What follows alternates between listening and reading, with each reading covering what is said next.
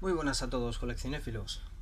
Como habéis visto antes en la página de Facebook, tenemos una super pedazo de caja para hacer un unboxing. Y vamos a proceder a abrirla. Yo quisiera que se viese todo, pero va a estar complicado. Porque la caja es muy grande y entonces se nos sale del plano.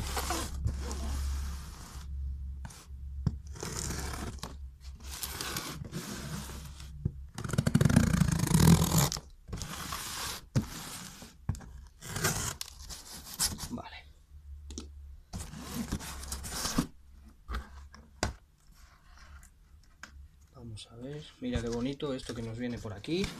Nos viene una espuma, la verdad que viene muy bien acolchada, ¿eh? Os voy a decir quién nos ha enviado la... a quién hemos hecho el pedido. A ver si lo podemos ver aquí. Retro Movies. ¿Tienen página en Facebook? Y bueno, pues tienen buenas películas de segunda mano y sobre todo las que os vamos a enseñar ahora, que son, quitando una, todas VHS. Bueno, vamos a apartar esto para que no se vea. Vamos para allá. Bueno, seguimos sacando más espuma de esta.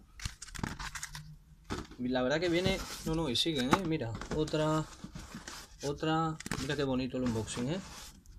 Qué bonito el unboxing. Bueno, pues de estas vienen un montón, así que como veis la caja está, está bien y, todo está bien. Bueno, la primera, que es la única que he pillado en DVD, es esta de aquí.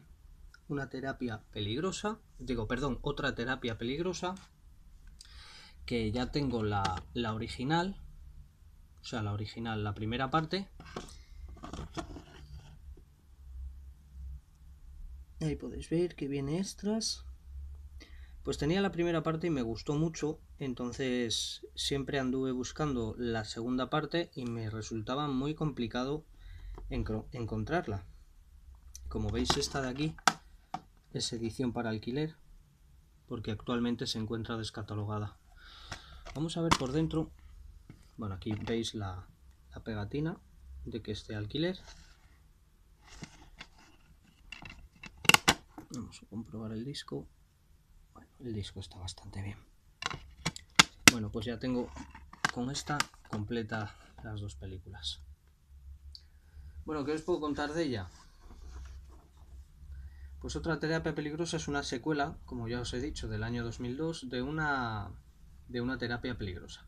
Aquí podemos ver a, Billy Crystal y a Robert De Niro, que Robert De Niro es, es un capo de la mafia y Billy Crystal es un, es un psicólogo, entonces le pide ayuda y al final pues acaba metiéndose en el mundo de, del mafioso y, bueno, está bastante bien. Es una comedia muy entretenida. Tanto esta como la, la, precuela están dirigidas por Harold Ramis, que para aquellos que dudo mucho que no lo sepan, pero para aquellos que no lo sepáis, Harold Ramis es director, por ejemplo, de Cazafantasmas, Atrapado en el Tiempo, o bueno, pues un, un montón de películas, ¿no? De, de ese estilo, pues con... Eh, me parece que el pelotón chiflado, me parece que también es de él. Bueno, pues películas de ese estilo, ¿no? Pues eh, con, con Dan Aykroyd, con este hombre, el actor de Atrapado en el Tiempo, que no me sale ahora el nombre. Bueno, pues ese. Bueno, pues esta es la única que me he pillado en, en DVD. Ya veis aquí las características. Editada por Warner. Bueno, pues muy bien.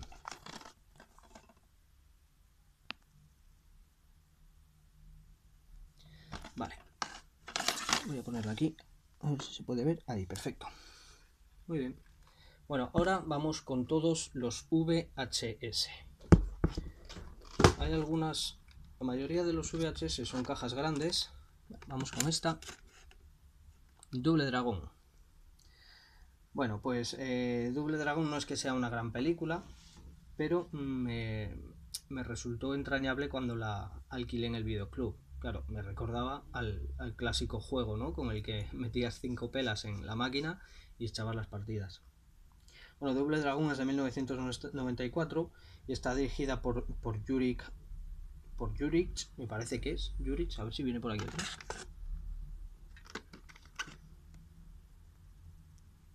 No, pues no va a venir. Bueno, de todas formas, esta caja, odio estas cajas, son las que usaban en los videoclubs para para que no se estropearan las, las carátulas ni las cajas de dentro, pero no me gustan nada esas cajas, intentaré cambiarla. ¿Qué más os puedo decir? Bueno, pues eh, Doble Dragón. Existe una edición de, en DVD de la Casa del Cine para Todos. Y el, director, el que ya os he dicho, el, el Yukich, o algo así, es que, debe ser japonés. No sé cómo se pronuncia. El director tiene en su haber más de 40 títulos como director de documentales y conciertos de música. Es, es lo que más destaca de su filmografía. Bueno, pues esta edición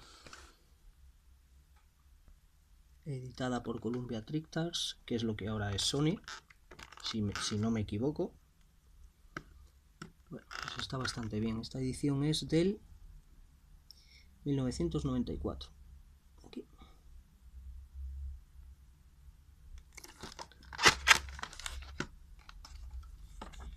Tiene aquí un papelito certificado de garantía. Esto venía de antes en los en los VHS y bueno la cinta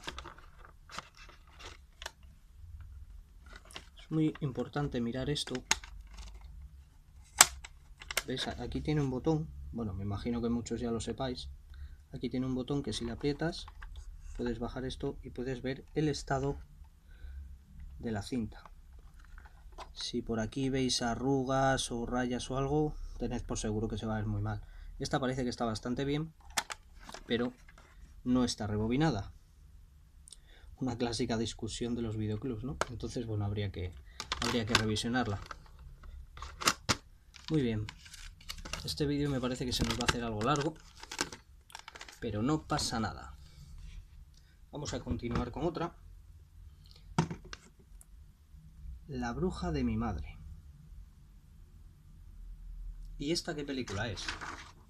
Bueno, tengo aquí una pequeña chuletilla, la veis, porque son muchas películas y claro, no quiero dar datos de todas, entonces, bueno, pues me lo he tenido que apuntar un poquitín. La bruja de mi madre está dirigida por Larry Cohen y es de 1989.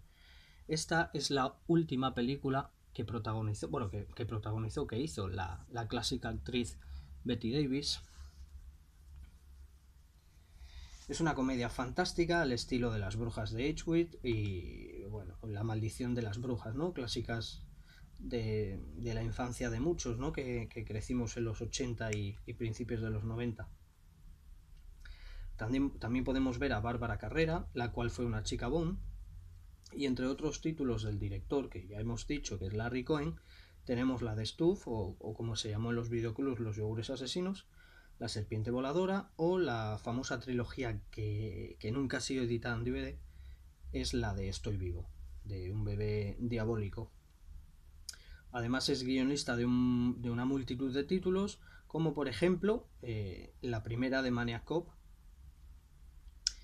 Y esta película está editada por Metro Golden Mayer esta película nunca estuvo editada en nuestro país en, DVD.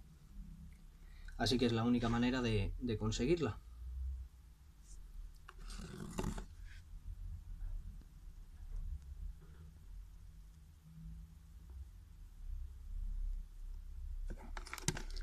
Bueno, no voy, a, no voy a revisionar todas las cajas. Bueno, mira, esta también tiene el certificado de garantía.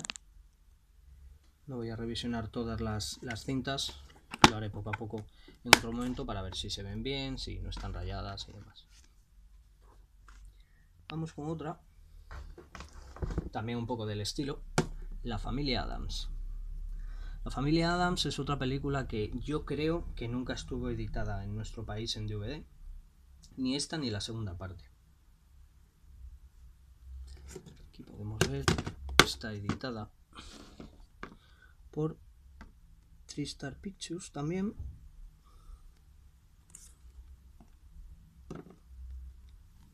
Bueno, os voy a contar un poquitín sobre la película. Vamos a ver, la familia Adams existe una edición, bien, os he dicho al principio que no existe ninguna edición en España, pero existe una edición inglesa en Blu-ray con castellano y una edición italiana en DVD de la segunda parte. Eh, ya os digo que desconozco si alguna vez han estado editadas en DVD en España, yo creo que no. No sé, no sé si se ve bien o da demasiado reflejo. Bueno, tenemos que ponerlas así un poco torcidas. La película es de 1991, está dirigida por Barry Sonnenfeld, director, por ejemplo, de la trilogía de Men in Black y, bueno, de la secuela de esta, ¿no? La de mil, esta creo que es de 1991, la secuela de 1993, si no me equivoco. Además también tiene conserje su medida, ¿no? Entre muchos de, otros títulos. Y aquí podemos ver actores como Angelica Houston, a Christopher Lloyd, Christina Ricci o el, el ya fallecido que el que hacía del padre de la familia, el puertorriqueño Raúl Julia. Pues seguramente intente hacerme con la segunda parte también en VHS.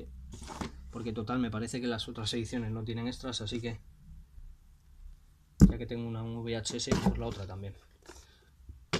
Esta, creo que es... Esta sí, mira, si veis el tamaño. Esta es caja pequeña y esta es caja grande. La gran mayoría son cajas grandes, la putada que ocupan un montón en la estantería. Bueno, Super Mario Bros. Una película de 1993 que aunque tuvo un gran reparto no gustó mucho a la crítica. Eh, tenemos como Mario a Bob Hoskins, el fallecido Bob Hoskins, y como el malo a Dennis Hopper, que hacía de King Koopa.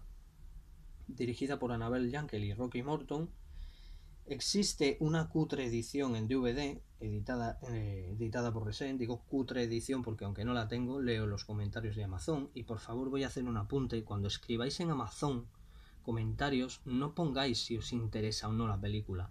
Si es bonita, si no es bonita. Eh, nos da igual. Lo que queremos los compradores es saber mm, qué tipo de edición es, si tiene extras, subtítulos, qué tal se ve, qué tal se escucha. ¿Vale? Es un comentario que dejo a ver si entre todos intentamos apañarnos, porque además es muy importante poner el ASIN de Amazon, que dijéramos que es como el código que identifica esa película, ya que Amazon mezcla varios, varios comentarios de diferentes ediciones.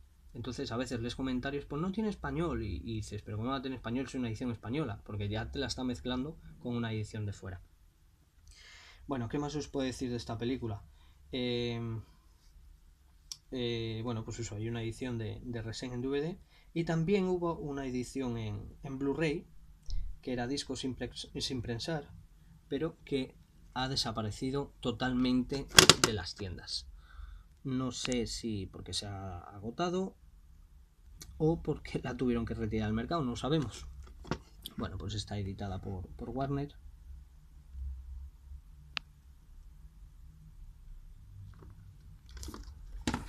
Vamos a seguir. Otra. Está pues otro clásico, ¿no? Solos con nuestro tío. Solos con nuestro tío, pues es una película de, de 1989 dirigida por el grandísimo John Hughes, maestro de las comedias adolescentes, como por ejemplo, ¿qué os puedo decir? 16 velas, El Club de los Cinco. Em, luego también tiene, que son, eh, son posteriores a estas, las de Solo en Casa, en la cual podemos ver también al pequeño Macaulay Culkin. Como protagonista tenemos a John Candy y deciros que existe una edición española en Blu-ray que cuesta sobre 14 euros. También fue editada en DVD pero ahora mismo se encuentra descatalogado y como el Blu-ray no incluye extras y cuesta cerca de los 14 euros o así, pues prefiero comprármela en VHS. Además mm, me ha salido bastante bien de precio cada película editada por Universal.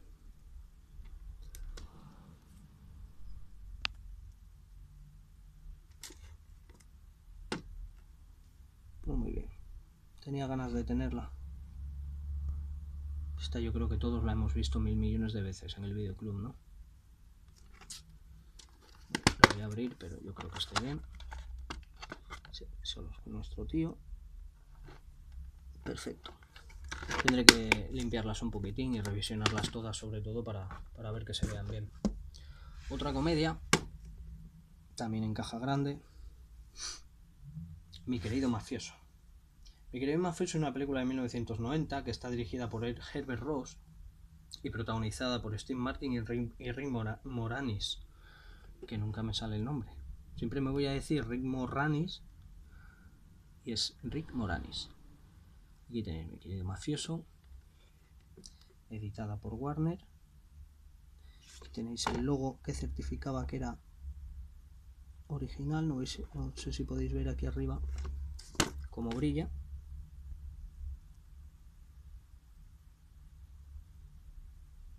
Ya sabéis que los videoclubs muchas veces hacían copias ilegales de las películas y nos las alquilaban.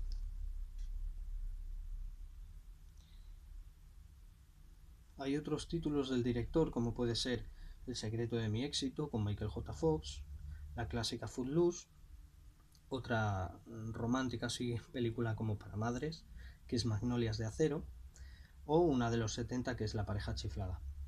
Esta que yo sepa nunca ha sido editada en DVD, o sea que es la única manera de conseguirla. Ya os digo, la mayoría de ellas son todas en VHS porque no existe edición en DVD. Un clásico de terror.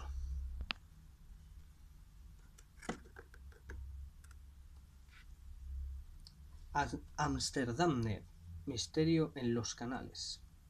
Es una película de 1988 dirigida por Dick Mash, director de Los Países Bajos, con títulos como El Ascensor o la famosa saga que no nos llegó a España nada más que en Videoclub, la famosa saga de, los Floater.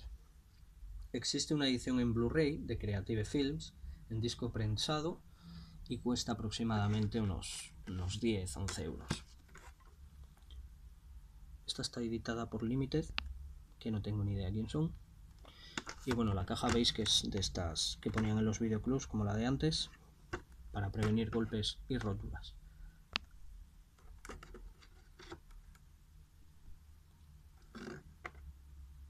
Clásico de terror, ¿no?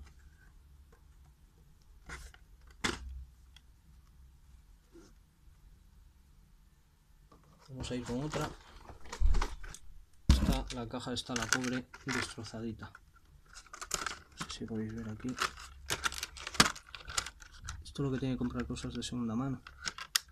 Está la caja destrozada bueno se cae, se cae a trozos. Bueno máquina baja. La primera parte. Máquina baja que nunca ha estado editada en DVD Escuché en un podcast que el dueño de los derechos no les quiere vender algo parecido, por lo que solo existen las ediciones en VHS, que además eh, son muy difíciles de conseguir. Salió incluso un DVD hace algunos años con 26 episodios de la serie, que esa no estaba protagonizada por Andrés Pajares, sino por Pepe Rubianes, pero que no estaba completa, son solo 26 capítulos. Yo pienso que estaría genial ¿no? que la serie eh, la editasen completa incluyendo las dos películas. Y pienso que las debería editar Divisa. Divisa la verdad que trata bastante bien las ediciones en DVD y sobre todo las ediciones españolas. Por ejemplo, la famosa serie de Antena 3, la de Manos a la Obra, fue editada por Divisa.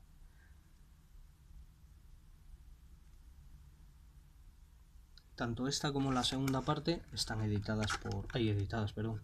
Dirigidas por por Carlos Suárez.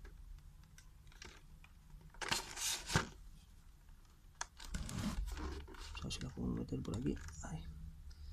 Esta la vamos a poner aquí también para que se vea.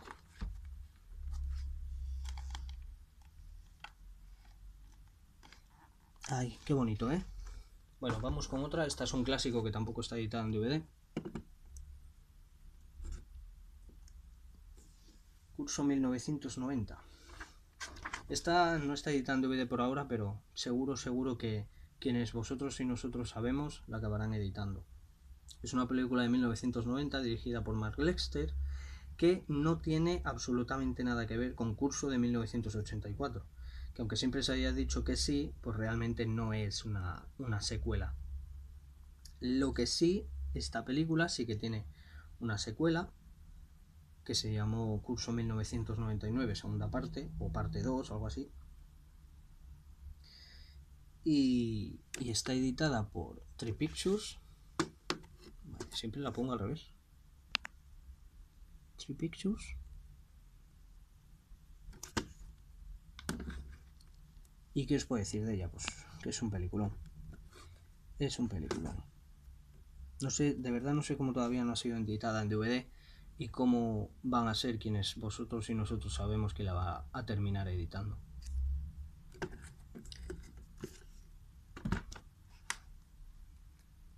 Bueno, ya solo quedan dos.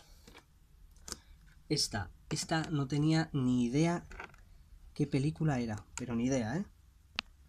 Se titula Y tú creías que tus padres eran raros. Película de 1991 dirigida por Tony Cookson, que además tenemos un gran reparto, que, entre los que podemos reconocer a Marcia Strassam, que salía en las dos películas de, de Cariño encogido a los niños, y en otra que era el punto, en el punto de mira.